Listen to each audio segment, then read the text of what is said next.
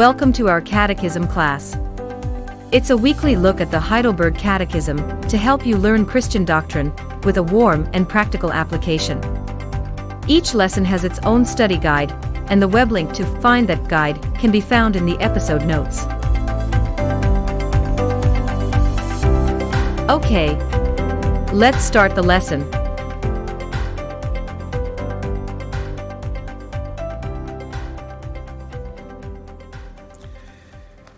Few moments uh, this evening, I want to address an issue that has beset us over the past few weeks here in Northern Ireland, and an issue that has clouded much of our social media, and an issue that will confront us in the days that lie ahead, the very immediate days that lie ahead. What is the Christian attitude to the Sabbath? You will immediately say, but you didn't read any verses about the Sabbath. No, I didn't. Because I imagine that you know more about the Sabbath than me. And I imagine that you know more about uh, the theology surrounding the Lord's Day than I do. And I also imagine that some of us may have slightly different views on Sabbatarianism. What we will agree on is that there are Christian priorities as far as the Lord's Day is concerned. And so, for a few minutes tonight, I just want to look at some of those priorities and to examine them. So, why did I start in Psalm 40? Well, I thought that was a good place to start. In Psalm 40 and verse 8, we read these words I delight to do thy will, O my God, yea, thy law is written within my heart. Thy law is within my heart. And that's interesting. I have long been pondering what happens when a person is redeemed within them. Of course, we know what happens. They're given new life, they're given redemption, they are born again. There are all sorts of descriptions in the Bible about what happens when a person becomes a believer. But in evangelicalism today, none of those things seem to be emphasized. Um, someone posted recently on a, on a Facebook page what a wonderful change in my life has been wrought since Jesus came into my heart. There is life in my soul which no lo- so long I had sought since Jesus came into my heart. And the impression seems to be that becoming a Christian is something that makes you joyous and happy all the time. That you are always full of the joys of spring. And I'm so happy, happy, happy, so very, very happy. And I'm going to tell you something tonight. If you are, there is something seriously wrong with your personality. Because the man who is happy and joyful and happy clappy every day of the week, every day of the year, has some kind of a personality disorder. Need to go and see the doctor. Something wrong with you. You see, we don't be like that. And to say that when we become a believer, that what happens to us is that we cease to be sad and we cease to get down and we don't have depression anymore and we don't have illness and we don't have difficulties is to make a great mistake. But look at this verse again. Verse 8 I delight to do thy will, O my God. Why can we delight to do the Lord's will? Why would that be the case? Because thy law is within my heart. And there's a difference. There is the biblical teaching on what happens after conversion. Because in our unconverted, unregenerate state, we are rebellious against God. We are law breakers. We do not wish to keep God's law, and we have no desire within us to keep God's law. We are in rebellion in every single part of our being. We are totally depraved. We are not necessarily as sinful as we can be, because there are people, you will say, who are more sinful than I am. How can I be totally depraved? I can be totally depraved in the sense that the sin that I have affects every core part of my being my will and my mind and my actions and my thoughts, all of my being is affected by my sin. I am in total rebellion against God in my unregenerate state. When we are converted, when the Holy Spirit has brought us to the point of conviction of sin, and we have had our eyes opened by God, and we have trusted Christ and begun a life of humble, repentant obedience to Him, confession of sin, humble walk, humble walk before the Lord, delighting to do Thy will. The difference is that instead of willingly and openly and blatantly flouting God's law, we want we want to obey God's law. And when we don't obey God's law that is written in our hearts, we are convicted of that. We're sorrowful for it. We turn from it. It, it bothers us. We repent of it and ask for forgiveness. I delight to do thy will, O God. Yea, thy law is within my heart. I want to, as a Christian, I want to honour the Lord not to not in order to obtain salvation, but because of the wonderful things that the Lord has done for me. Because as the psalmist says, he has put a new song into my mouth, and even praise to my God, and because he has done many, many wonderful works for me, because the thoughts that he has towards me, the plans that he, the plan of redemption that he put in place for us, they cannot even be reckoned us by up by us, even if we were capable of summing and adding up all that the Lord has done for us, we would still never be able to number them. And yet we find ourselves accurately described in God's Word. And we delight to do thy will. And we can only do that because of the work of God within us. And because God's law is written in our hearts, this is where I want to start. Because the Sabbath and the keeping of the Sabbath is part of God's law for us. And it's in God's law, the third use of the law, that use of the law that shows us what is God's perfect will and how we are to walk in it. It is in that use of the law that we find our model for Christian living. So, when we approach the Sabbath, we approach it from those basic premises. We approach the Sabbath day wanting to please the Lord. We approach the Sabbath day because in our conversion, He has made us want to conform to His will. Our hearts and our minds and our wills are renewed so that we want to do what God wants us to do. We want to be obedient to Him and we want to please him in our walk. And we want to know how will we live on the sabbath day in such a way as will please the lord. For we delight to do thy will. I've only got two answers to that question. And they are very broad principles. And i will leave the nitty gritty to you. But you uh, will no doubt agree with me on these two basic principles. And the first is this that the Sabbath day, the Lord's day, is the day that we are required to discharge our Christian duties. And the second principle, broad principle, is that the Sabbath day, the Lord's day, is a day that is given to us by God as a blessing to prepare us for eternity. Now let's explore those two things for a few moments. Well, first of all, the Sabbath day involves our Christian duties. Now, what do I mean by that? Well, I want you to look with me, please, for a wee minute at 1 Corinthians chapter 16. Right at the very end of 1 Corinthians, Paul has given instructions to the church, and he's going to collect the offering. And he's going to give some very, very good advice on how that's to be done.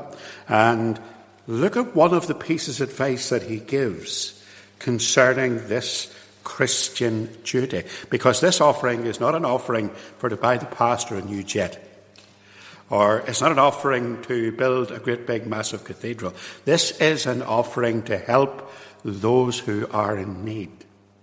And he says in chapter 16 and verse 1 Now concerning the collection for the saints, as I have given order to the churches of Galatia, even so do ye upon the first day of the week, let every one of you lay by him in store, as God hath prospered him. That there be no gatherings when I come. And when I come, whomsoever ye shall approve by your letters, them will I send to bring your liberality unto Jerusalem. And if it be meet that I go also, then they shall go with me. Some very good advice there on, on financial probity in the ministry. But leaving that aside, in verse 2, Paul clearly instructs the church that this Christian duty was to be enacted on the Lord's day. And my assertion to my my suggestion to you tonight is that the Lord's Day is the day when we will discharge, first and foremost, our Christian duties. That's because it's the day when the Christians would meet. There's a reason why this offering was to be taken on the first day of the week. For in the New Testament, that was the day when the Christians met. In John chapter 20 and verse 19, for example, at the same time and evening, being the first day of the week when the doors were shut, where the disciples were assembled for fear of the Jews, came Jesus, stood in their midst. Paul in Acts chapter 20 and verse 7. We read of that on the first day of the week, when the disciples came together to break bread, Paul preached unto them.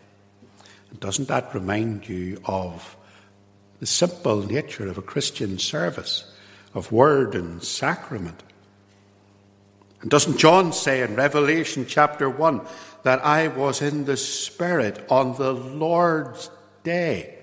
The day that the Christians met. And that was the day that Paul had said to the Corinthian church, This is the day that you will discharge your Christian duties.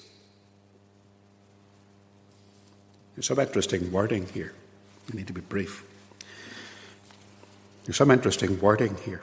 If you look again at, at, at chapter 16 and verse 2, it says, upon the first day of the week.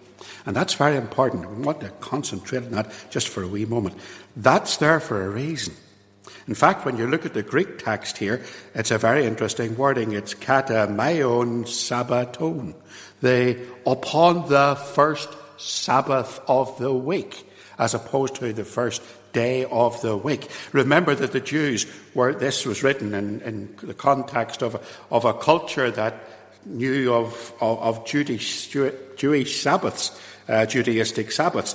The last day of the week was the Sabbath. But here we're made very clear to us that this Christian duty, when the church would meet together to perform this obligation before the Lord, was to be not on the Sabbath that the Jews celebrated, the last one, but on the first day, the first Christian Sabbath. People will say to you, why do you still refer to the Lord's Day as the Sabbath? Because it is the Christian Sabbath. It was the first day of the week. The giving of the offering, along with the worshipping of the church, was to be on the Sabbath day, which occurred on the first day, the Christian Sabbath, the first day of the week, and it was to be part of our worship.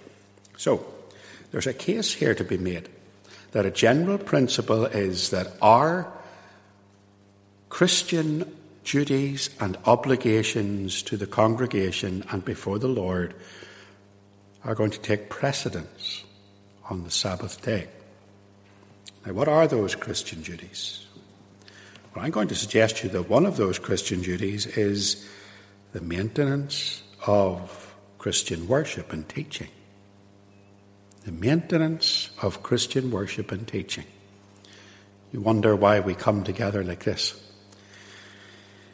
a funeral director said to me a few way, wee way back, Do you still preach every Sunday in Ballymacashen?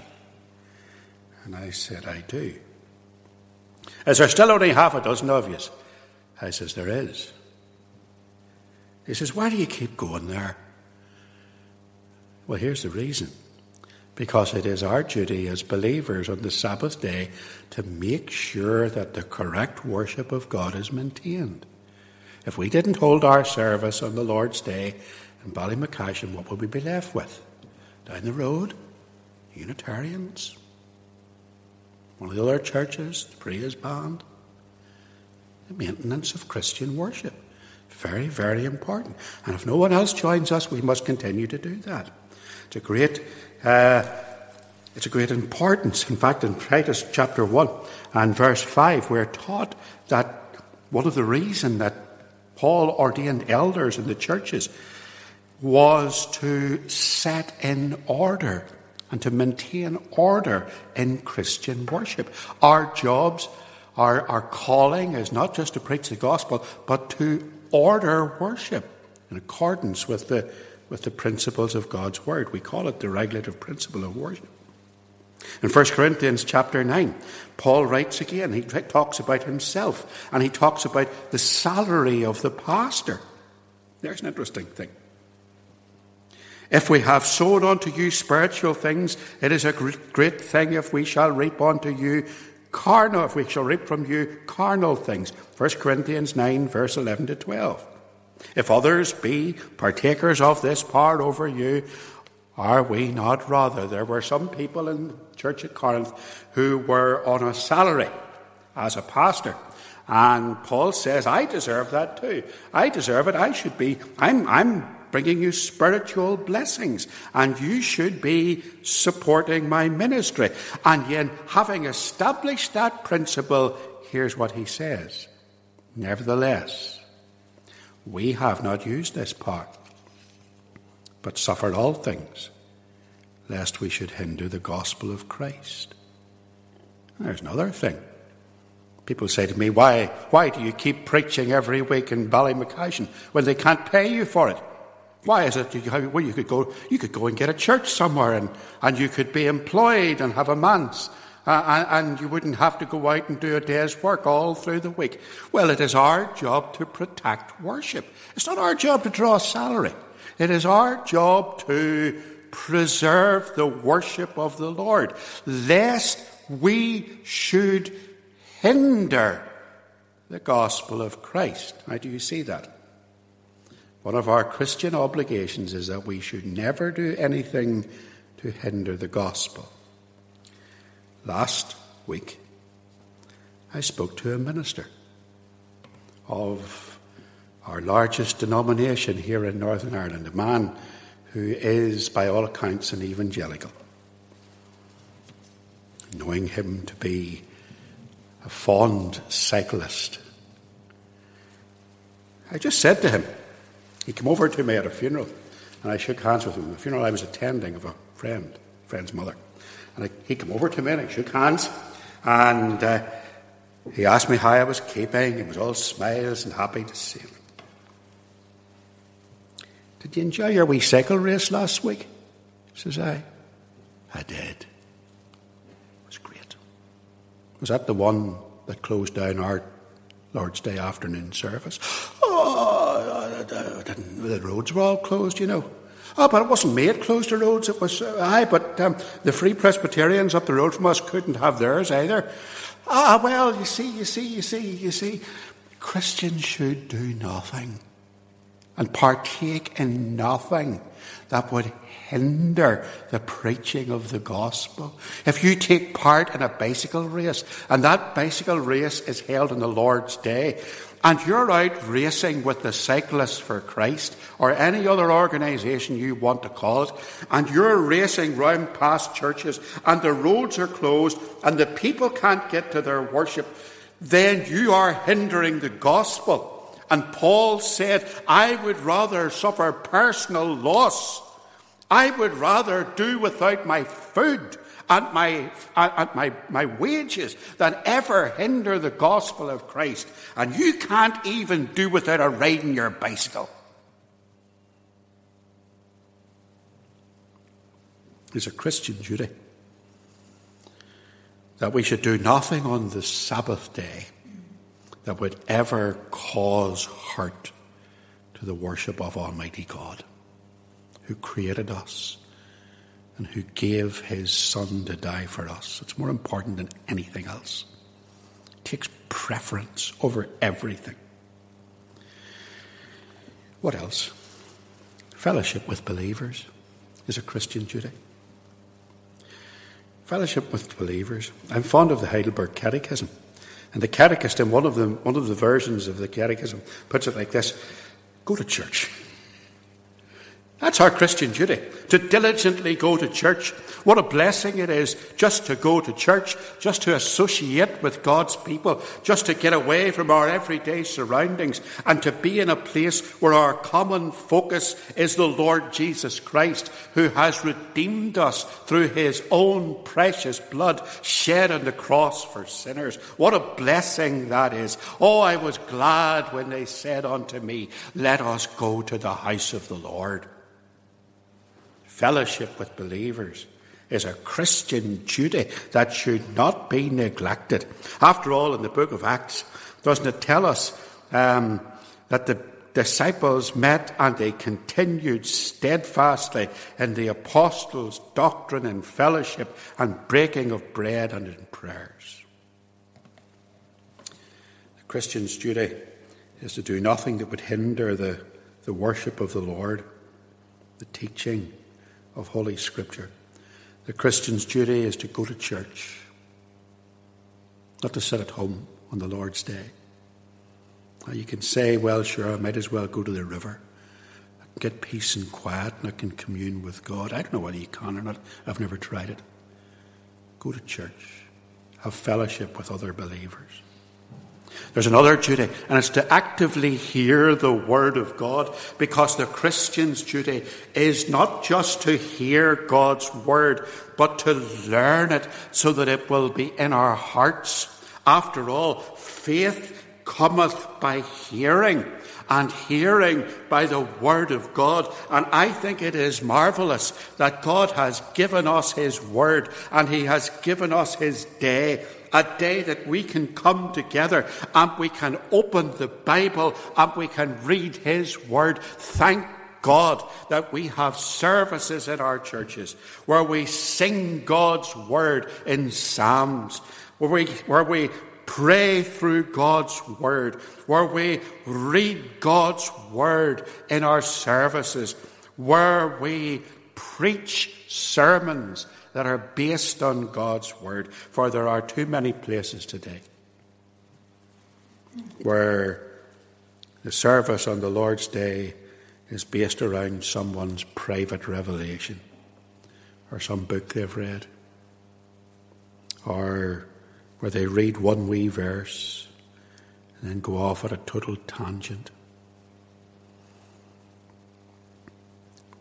The Christian's duty is to maintain worship, to go to church, to actively hear God's word, to participate in the sacraments. And of course, that would be part of that because the ministry is the ministry of the word and the sacrament. And the sacraments are most properly administered in the context of the church on the Lord's day. When Paul instructs us on the Lord's Supper in 1 Corinthians chapter 11, he adds in verse 33, Wherefore, my brethren, when ye come together to eat, tarry one for another. And as I've already quoted in the book of Acts chapter 20, there Paul preached to midnight and they came together to break bread and to hear the word of God participation in the sacraments, corporate prayer. That's another duty. Somebody will say, I can pray in my own prayer, private room. You can, but you're to come together to pray, to corporately pray together. Instances of it are very well documented of the Bible, and it's most suited to the Sabbath day. And of course, as we've already seen, the giving of offerings for the needs of others and for the Lord's work is a Christian duty. Now, all of those Christian duties that we are required to do are part of our priority on the Lord's Day, and they come before everything else. There's nothing else that can shake those things. We must put those things first as believers if we want to please the Lord. The second point then is that our Sabbath is not only is it a question of getting our priorities right spiritually, but it is very much a preparation for eternity. Uh, and again, the Catechist in the Heidelberg Catechism, with its very finely balanced moderately reformed viewpoint puts it very well. For the Catechist says here, secondly, that all the days of my life I will rest from my evil works. Let the Lord work in me through his Holy Spirit, and so begin in this life the eternal Sabbath. I'm going to suggest that the, the Lord's Day is for us a day of recuperation. It's a day when we draw aside from all our evil works. And what can our works be? How can they be evil? How can that be the case? I mean, we all have a day's work to do. I have to do it. I spend the whole week working and working in the studio in Dundonald, working in various places, taking photographs out. You'll see me sometimes doing some very strange things. A few weeks ago, I was standing on top of a Portakabin in the pouring rain, taking photographs of a car park. And I'm thinking to myself, somebody will think I'm a nutcase. Why am I standing in this Portakabin in the rain? I'm getting paid for it good enough reason to do it. But it couldn't really be called evil, could it? And when you think of all the good works it's done nurses working in hospitals, people helping the dying, helping the sick, giving aid to others, how can that be called evil? Well, you see, all of our deeds, all of our righteousness is like filthy rags before the Lord. We're comparing ourselves with other men. I look at myself and I say, you know, my work is really not all that bad. I, I do it unto the Lord to the best of my ability. And I frequently use it to bless others as best as I can. Uh, and very often when people come and in contact with me through my work, I get witnessing and talking to them. And God help me if I don't take those opportunities. But compared with a murderer, whose work is evil. How could my work ever be evil? But yet, even my best works in this world are tainted and tinged with my sin, and before God they would be swept away into eternity. There's only one perfect work, and that work is Christ's work. Christ's work on the cross, perfect for us so, laying aside the distinction of piety and necessity and mercy and all of that stuff, all of our works, all of our righteousness, all is filthy rags. So, on the Lord's day, let us put those things aside and let us focus our mind on Him whose work for us was the perfect work. And the reason for that is that all of our works will one day be finished. I want you turn to the book of Hebrews, chapter 4. Probably a passage that we have looked at before. But I'm interested in verse 9.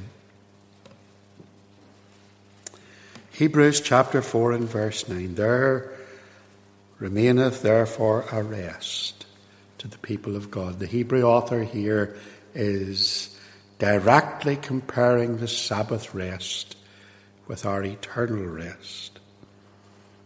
There's a rest still to come. There remaineth therefore a rest to the people of God, for he that has entered into his rest, listen, he hath ceased from his own works, as God did from his. One day, we will cease from our works and our eternal rest. One day, everything will be gone. One day, the works that we have built up, the reputation that we have as a tradesman or a professional or whatever, all that will be gone. All of the tools of our trade that we use will be gone. I'm very, very blessed because I love the tools of my trade. I love the cameras and I love the lights and I'm very happy with it. I, I love getting out to, to, to a location. I love the feel of the, of the Nikon camera in my hand and the thought that mine costs about 20 times what somebody else's did. That all blesses me. I feel great about it.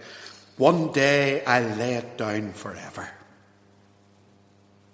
Sometimes you think to yourself, you know, what's that all about? You build up a business, or you get your degree, you have your education, you build your home, and you build your family. As we sang in one of the Psalms, one day it's all going to be taken from us. And we lay it all aside, and we rest from our labours. Do you know the Sabbath day is a preparation for that? The Sabbath day is given to us to prepare us for our eternal rest. We should not be doing our labours, should not be working. So now I'm not nitpicking here. Somebody said to me one day, You shouldn't drive a van on the Lord's day because that's work. You can drive your car, don't drive your van. That's, that's, that's, that's silly.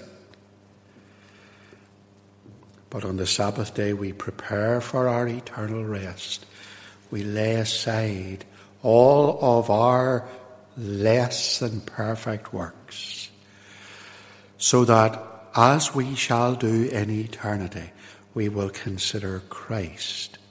Give us time to think about His work. The Sabbath is a day of recuperation when we will spend time with God's people in God's house in His day and His presence, when we shift our focus from earth to heaven to eternity. It's a day of recuperation, and it's a day of recuperation that will assist us in our sanctification. For the Lord will work in us through, our, through His Holy Spirit the purpose of our sanctification. The purpose of the ongoing work of the Holy Spirit within us is to prepare us for heaven, to make us more Christ like, to bring us to the place, to prepare us for the day when we shall be with the Lord in glory, when that work in us will be fully realized and perfected. And on the Lord's day, as we perform our Christian duties before God. The Holy Spirit is working in us, preparing us for eternity. So it's a day of rest and recuperation to assist in our sanctification as a means of our preparation. There remaineth therefore a rest for the people of God. For he that is entered into his rest he also hath ceased from his own works, as God did from his. So, to prepare for that rest, on the Sabbath day, we cease from our own works, that God may do his work in us. So, apart from the physical and well being benefits that are given to all of mankind, remember the Sabbath is a creation ordinance. It's given to all mankind to be a blessing. For the Christian, it holds special significance. The purpose of the Sabbath for the believer is quite simply that we would do our Christian duties in the house of the Lord on His day so that he might, through his work within us, prepare us for the Sabbath rest that is yet to come.